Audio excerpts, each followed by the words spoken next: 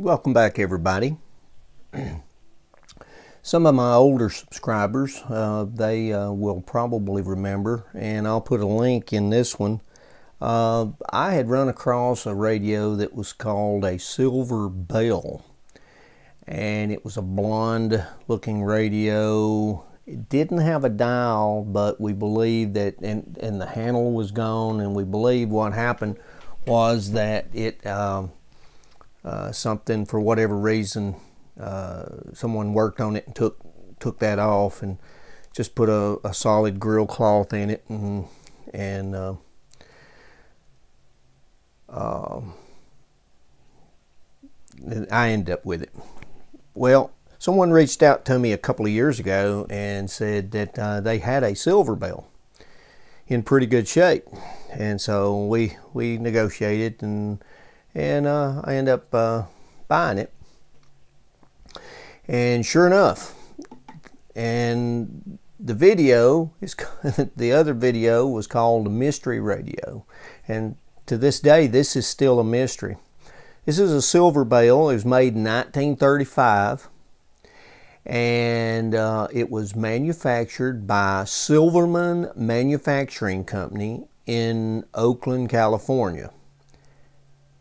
And so, if anybody knows anything about that, I would certainly appreciate it because I've contacted the Historical Society, the Radio Historical Societies of, uh, of California, and they have not even heard of this before. So, um, uh, it's one of the West Coast radios. So, it was made in 35.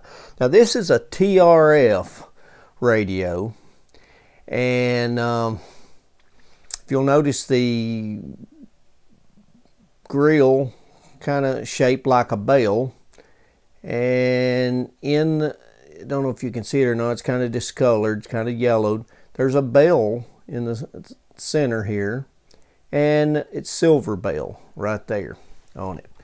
Uh, and some of this stuff I've, I've shot this this second time I've shot the video because when I went to upload it to my laptop, I don't know what happened. There was only pictures, there was no video. So I'm having to redo all this stuff. So it, it's kind of rehearsed right now, but um, the closest that I've been, you know, you know, and and the word bell. I, I, and, and I'm making this stuff up as I go. Silver, did that come from Silverman? Manufacturing. And Bell was that was he in cahoots with Herb Bell of uh, Jackson Bell, Packard Bell? Uh, I don't know. Um, I can't find any relation to it whatsoever. Um, did the Gilfillan brothers build this? I don't know. So far, the closest schematic I have found is a Peter Pan Model 34. And I've already started going through this and started videoing it and what have you. And so I'm having to go back on this first part. But uh, I'm going to try to go through this and you guys help me along the way. Uh, the knobs, uh, they've got set screws, which I've already loosened once, so I didn't tighten them back. I was going to show you um, the back of it's a real heavy little radio. It's got a transformer in it. Okay. Uh, it's got a long wire antenna, uh, four tube. Uh, and let me give you a close up of, of, of some of this stuff. Now, here's one of the interesting things. Look at how it's fastened. There's only one screw, and the screw goes all the way through the chassis. Uh, the other one, the other mystery radio that I've got over here on the bench, uh, its sister or brother or cousin or whatever you want to call it, was fastened in the same way, and I thought it was rather odd. But um, I'm going to show you these labels, uh, how nice they are, and you can read them for yourself, and maybe you can help me determine we'll, we'll play Magnum PI and figure out what it is. Let me get a close-up of these labels. Okay, there's the label. As you can see, serial number 1382. There's your 90 day warranty. Silver Bell, manufactured by Silverman Manufacturing Company, Oakland.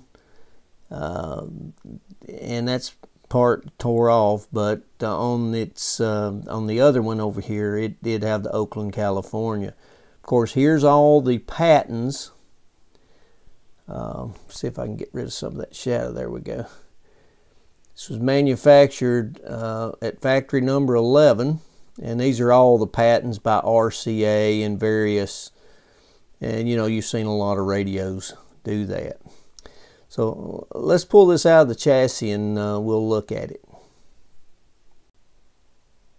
I wanted to show you the uh, uh, dial itself and um, like I say I've already shot a lot of videos so we've actually taken it apart and you'll see it in much more detail than, than what it is.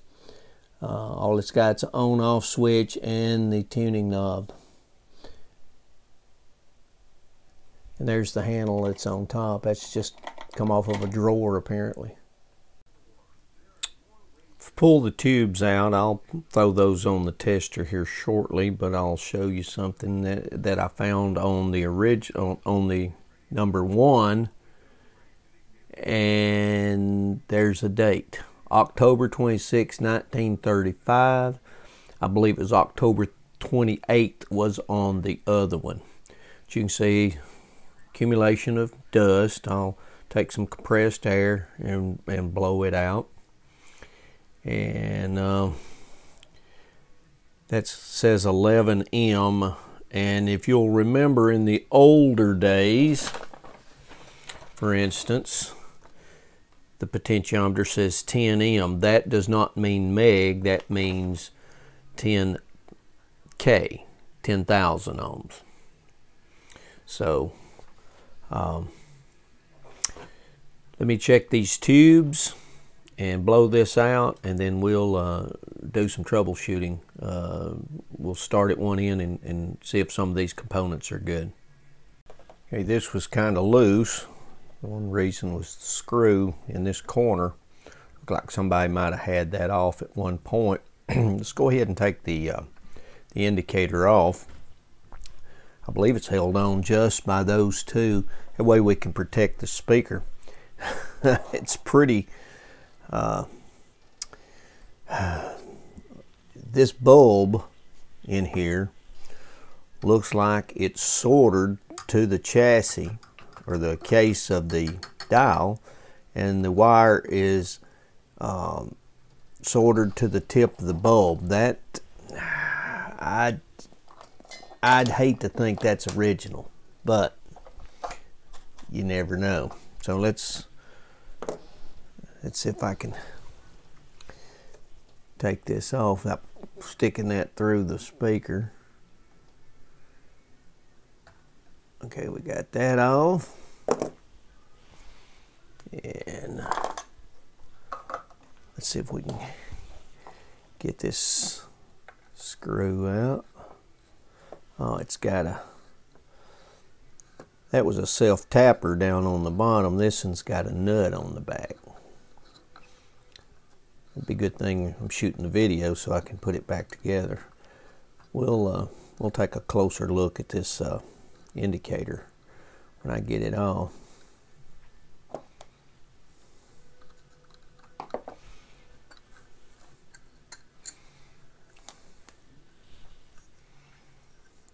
As you can see, the bulb is soldered. Now I'm not quite sure how this works. The dial string has to come through this slot. Let's move this over. You can see the dial string. It basically has to wrap around inside there.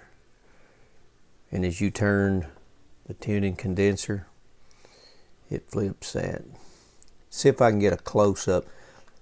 Let me see if I can take this plastic out and get a better look at this. Wonder if there's anything I can do to get that discoloration out of it. I don't know. Um, as you can see, I thought that was hummingbirds, but I don't think it is. I think that's uh, just some sort of graphics on it. Looks like there is a screw a screw head that holds that dial on.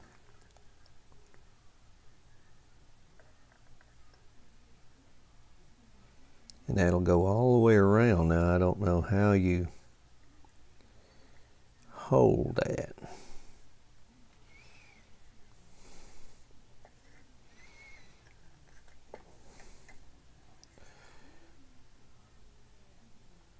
Let me look this off camera. Okay, let me show you how I got it apart. I took my X-Acto knife and in the very side, inside there, there's a brass shaft and it has a slot in it. And I was able to take and put that knife into that slot and hold it and loosen this screw which held the dial on. Otherwise it would just spin around. Then I basically just took this and this is in really really good shape. The last thing I need to do is to break it. And as you can see this little tab is breaking. It just broke. And that's what holds the plastic gizmo on. It's what holds this on. So before we do anything, we're going to have to probably put some little tabs on this to hold the, the plastic in. But uh, then this just slipped out. I'm going to try to take a good high quality picture of this and maybe send that to uh, Radio Days uh, just for their records in case somebody else needs it. I don't know how many of these are out there. Now here's the little um, brass shaft I was telling you about. It's got the slot in it there. So, but the best I can tell the string is fastened underneath this. It looks like a rivet, however, looking down inside there, it looks like it may be threaded. So I don't know. I'm going to set this, all this aside for now. I just can't believe that bulb is soldered in there like that. That might have been a fix, you know, but uh, um, we'll have to figure this one out. How this, it's probably almost a direct drive, but we got to figure out how that string attached. And I think if you can see there, I don't know if you got a good light there or what. But you can see that looks like the string. So we'll have to figure that out before we go back with it. So let's go on. Spend enough time on this for right now. We're not going to fix it tonight. Like I said, this is a TRF. Um, and been reading a lot about Jackson Bell and Herb Bell. And for some reason, I'm aiming towards that. But it, Silverman Manufacturing, I cannot find anything about it at all in the 30s. So maybe somebody else can come up with it. but one of the things that just kept nagging at me was that Jackson Bell, they started having financial difficulties in like 31, 32 ish.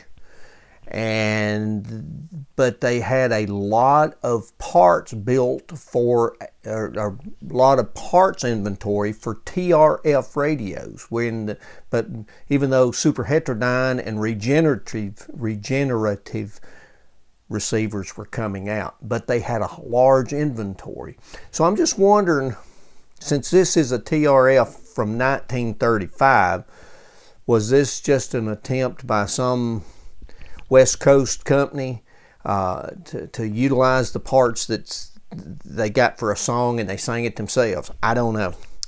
But um, anyway, let's let's go over what we have. We have a pretty good uh, hefty transformer here. Got all the numbers on them. Um, the speaker is about a four inch speaker. Uh, there's the uh, uh output transformer. It's got a speaker coil. Um, it's a Jensen speaker, by the way. And uh, so here is the 76 tube. That's the detector. This is the uh, 6D6, which is the uh, RF amplifier tube. Of course, the 80 rectifier tube and the 42 audio amplifier tube. Uh, let's turn it around just a little bit. And you can see this has uh, got the spring and very simple mechanism. But this is the antenna coil. Uh, of course it, the antenna wire comes up and connects to it also so let's go underneath let me get a better angle on the camera and we'll go underneath and we'll look and see what it looks like Okay, like I said, let's go over the schematic a little bit. Uh, this is the Peter Pan Model 34, which is also has the same tube complements. Um, as you can see, I've already been doing a little bit of troubleshooting, but we'll go through it even more. Uh, it's got the transformer. Uh, the 80 tube is here. Uh, the rectifier. It's got two four microfarad filter capacitors, got a filter choke or the speaker coil which is acts as a filter choke. Then of course the output transformer up here, the 42 tube, the 76 tube, and the 6D6 RF amplifier tube. Um, uh, of course the antenna coil itself with the long wire and the 10k potentiometer. In the earlier drawings, the M stood for a thousand. That was Roman numeral for a thousand. Uh, I, am trying to see, and but you see right here, it says 2 meg. So the word meg ohm or meg was written out on the older schematics. Now later on, um, uh, people started using 2 meg or th they would use M, but in the older schematics, the M stood for 1000. Okay, so that's the schematic, and we'll go through this and we'll troubleshoot the components and see what's there, how similar it is, any variants or anything like that. Since we can't we can't locate, we don't even know if there's a drawing out there for this. Okay, if you remember, we started with a transformer. Uh, right here's the of course, that's the long wire. I, I believe I'm going to end up cutting that off before long because it just keeps flopping. But uh, the power cord came in this grommet. And this is pretty neat. They had terminal strips um, uh, for some of this stuff instead of just tying to the other components. But uh, this is the uh, terminal strip for um, the, the power cord and then from there it goes up to the on off switch and the uh, potentiometer um, This is the 76 tube. This is the 42 tube. This is the 80 tube, and this is the 6D6 tube. Uh, this is the uh, interstage transformer. Um, on your TRFs, um, the, the, you know the later the heterodynes or the super heterodynes, you you had the IF transformers and and uh, between the interstage and uh, the way it works. But basically, all this one does is it's, it's tuned circuits, tuned radio frequency circuits, and so you've got your uh, signal coming in on the antenna coil and it's tuned with the, with the variable co uh, condenser. Uh, then the, it goes to the 6D6. Uh, it's amplified. Then it goes through another tuned circuit and that's this one right here. It's a transformer and it boosts the signal up somewhat and it's in the in the range of where it's tuned at. And then it goes to the detector which is 76 which will detect and, and convert that to an, uh, uh, an audio. And then it goes to the 42 which is amplified which goes through the loudspeaker. So it's a it's a fairly simple circuit. But this is the um, uh, uh the interstage transformer this uh, big block here is the uh, capacitors there's two of them in here uh, both of them are 4 microfarads at 600 volts. That matches our schematic. Uh, we'll go through and see if it matches the way it's laid out also. Um, if you look, I'm not sure that anything has been changed in here. So we may have one that hadn't been really, really looked at. But, so what we'll do is we'll look at the schematic. We'll start probably with the with the with the power supply, troubleshoot, go forward, and and go through and and check. You know what what what's it, what are the important things when you're troubleshooting a radio? Okay, yeah. People want to know if it's a transformer. Transformers are fairly expensive, right? The other is, what about coils? I don't want to have to rewind a coil. Another big one is the speaker choke or the speaker coil.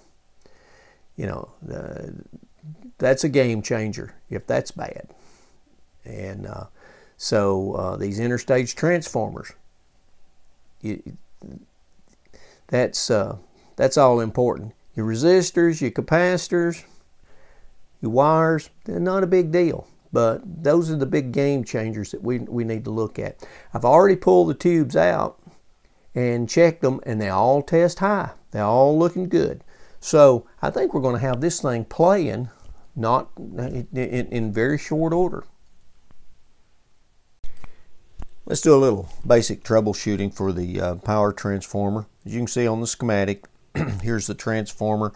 Uh, it's got the power cord. Uh, it's got a switch in line that goes to the primary, and uh, then of course you've got uh, the top um, on the secondary side. The top is the uh, windings for the rectifier tube, which is the five volt windings.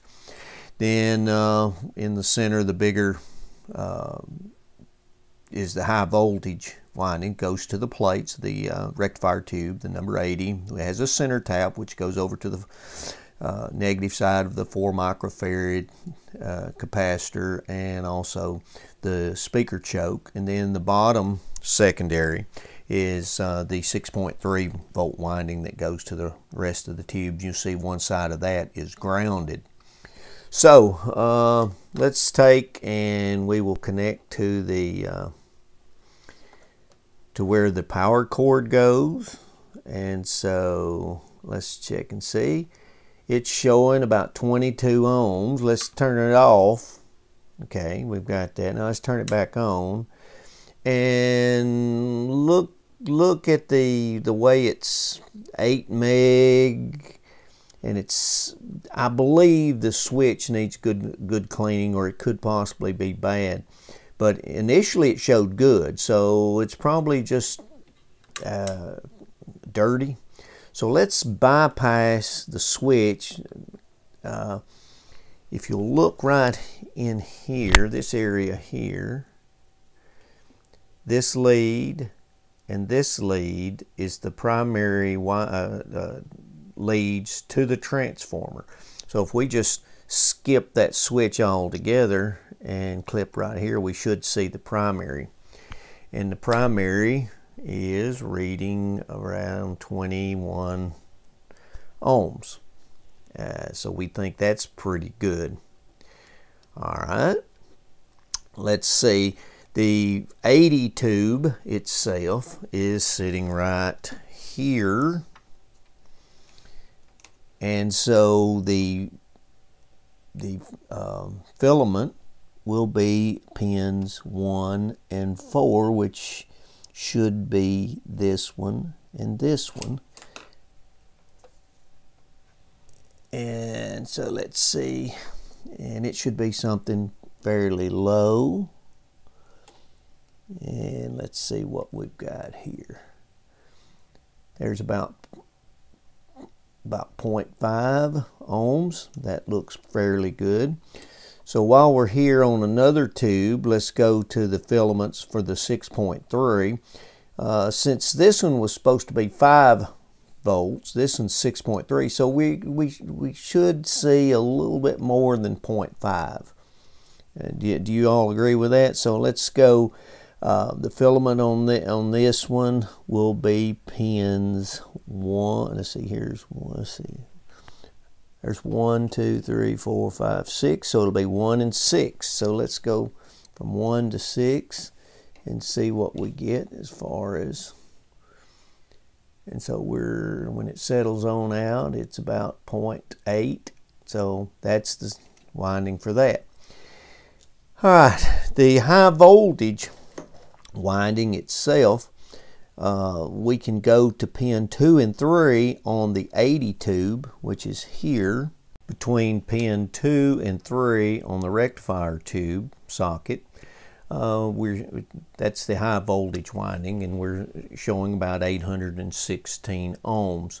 So if you look at the schematic, the center tap goes to the negative side of the first 4 microfarad filter cap at the junction of it and the uh, speaker uh, coil itself, which goes to right here. So we should see approximately half of that 816. So there we go. That's about 425 and meter timing out and so we go to the other side the other pin and we should see approximately the other half of it in this case it's 391 so it looks like the uh, uh, transformer itself is good. So let's check the speaker field coil.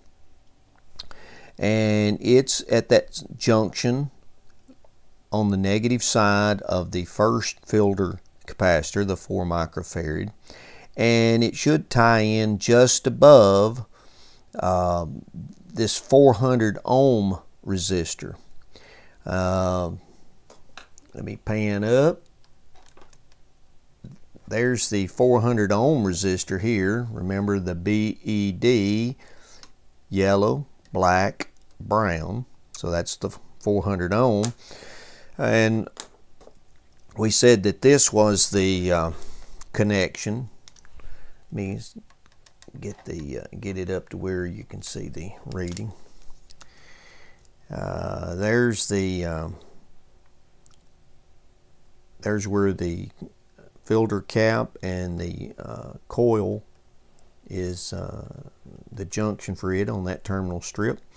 And this end of the uh, resistor is to ground, so this one is where uh, uh, this other side of that field coil is tied in. And I really don't know what it is, um, but it looks about like 2.495-ish or something, 2,500 ohms.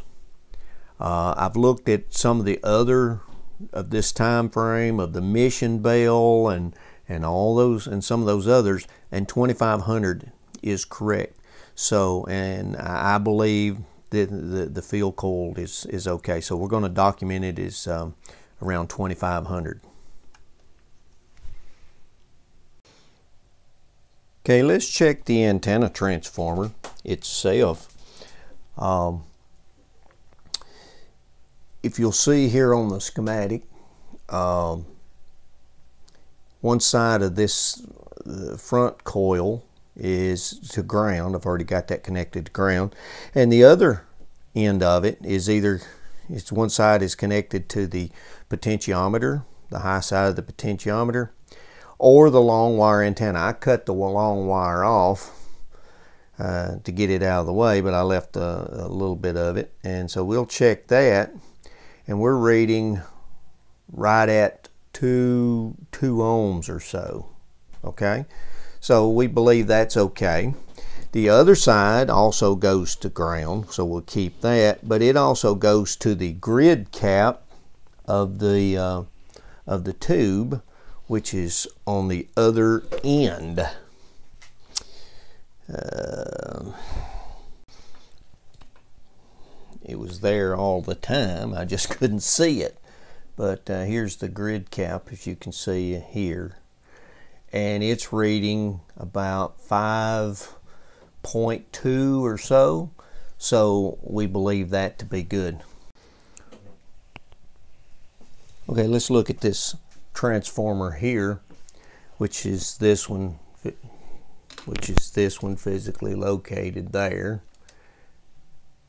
And uh, so what this does is it couples the RF amplifier uh, tube to the detector tube so it couples the signal uh, between this and matches the impedance. And it's also a tuned circuit which allows certain radio frequencies through there.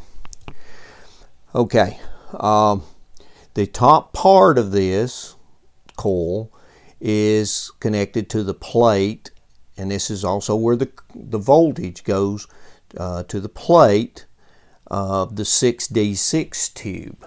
So it goes through this coil. Okay, so we'll want to connect to the plate of the 6D6 tube. Also, if you'll notice down here, this is the B plus. Uh, here is the first or one of the filter capacitors, the 4 microfarads. Here's the other one. If you'll notice, the positives are connected together, which feeds this B plus line. If you'll look, this goes over to pin 3 of the 42 tube. So if we were to check between the plate or pin 2 of the 6D6 and pin 3 of the 42 tube, we will read what this coil is reading. So let me pan up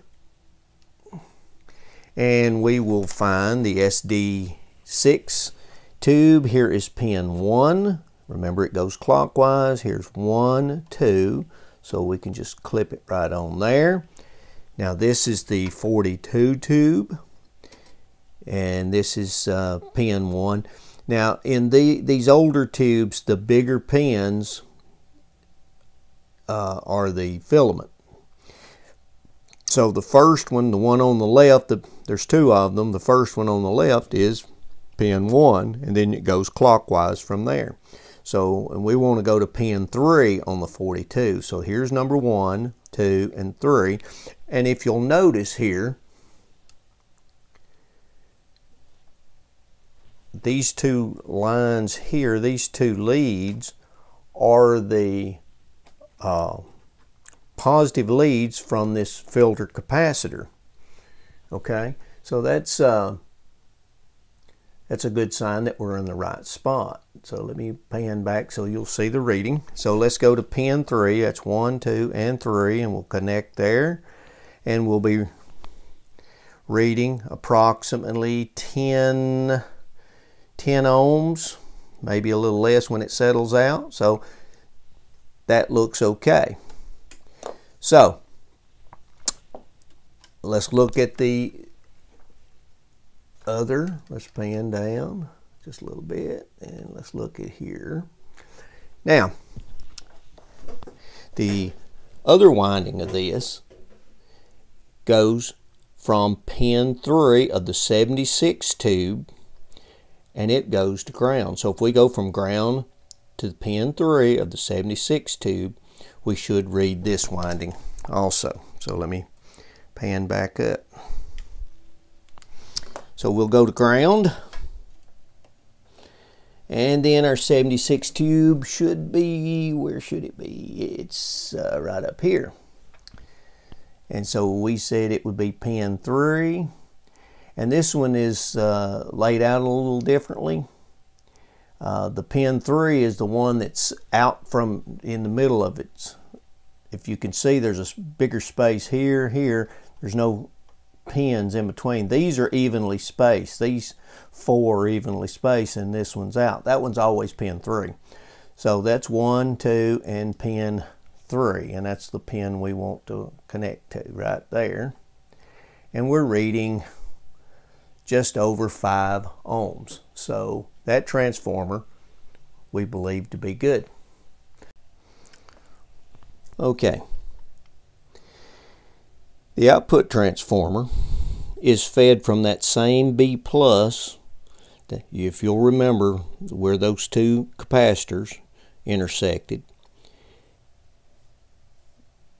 One, one side of it is coming off of it and also the other side is coming off of uh, pin 2 or the plate of the 42 and that should give us the primary of the output transformer. So let's pan up, see what we've got.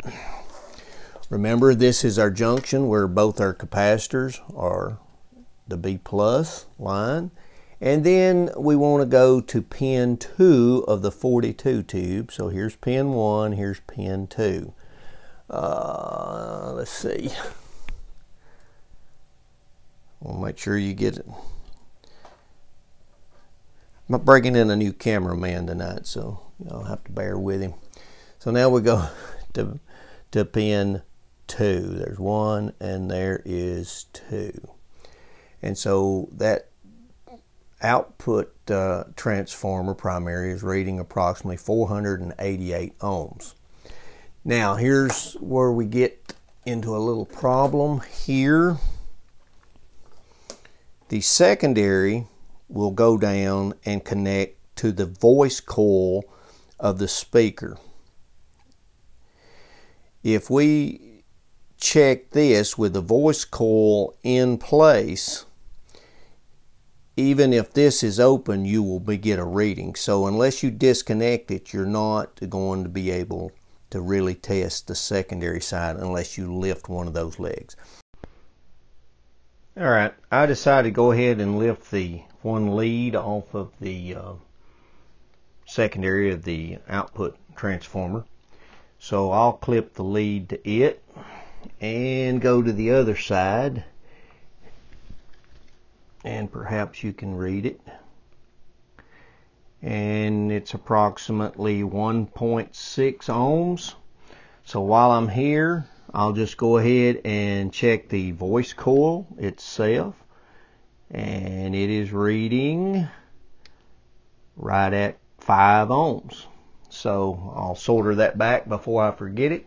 So it looks like everything is in order let me get that uh, reading because I want to document it because uh, this is the only schematic known to man at this point in time. We're going to call it one point. We'll call it 1.3. Okay, so we've been through the radio from front to back, checking the components. This schematic is very, very accurate. Um, the differences that I found is in this radio, there is a uh, bypass capacitor on the AC line, We'll replace that with a safety cap. Um, it wasn't was not in the Peter Pan radio. That's what what's different. Also, instead of a 2 meg resistor, there was a 1 meg resistor in this radio. Um, I looked in the other silver bell that I have, and it's also a 1 meg resistor. Um, so, uh, the rest of these values are very, very close. Now, there's some capacitors uh, that uh,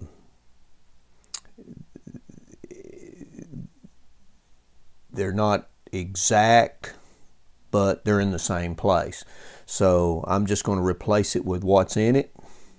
Apparently, it worked at one point, and uh, but uh, that's the only real differences that I see in this. So I'm going to recap it and uh, then then we'll bring it up and, and see if we can't uh, uh, make this thing play.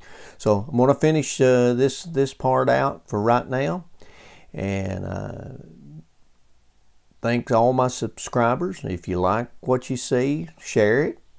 Hit subscribe if you're not already a subscriber. Uh, but appreciate you following along this journey with me. And if you have any information on this thing, be a Columbo. Help me out. Try to find out where this thing originated. So, from Larry from the hills of Tennessee, thanks for watching.